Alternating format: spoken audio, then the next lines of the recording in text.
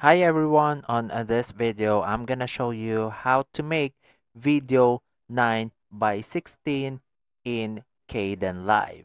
So if you want to make your video ratio to 9 by 16 in uh, Kdenlive for TikTok and uh, Facebook Reels or YouTube Shorts, here's what you need to do. First, import the video and then drag the video to your timeline.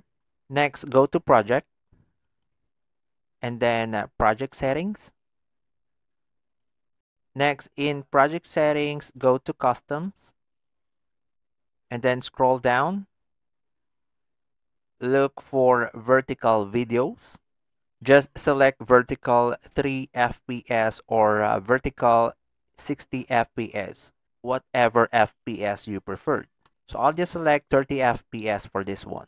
And then click on OK and then continue click on save and then you'll see that the ratio aspect is already in 9 by 16 so how do we fit this clip on the frame of the video? First right click the clip and then insert an effect and then go to transform. So here you just need to do is adjust the size of the video. You just need to click the size and then drag it on the right until the video fit the whole screen.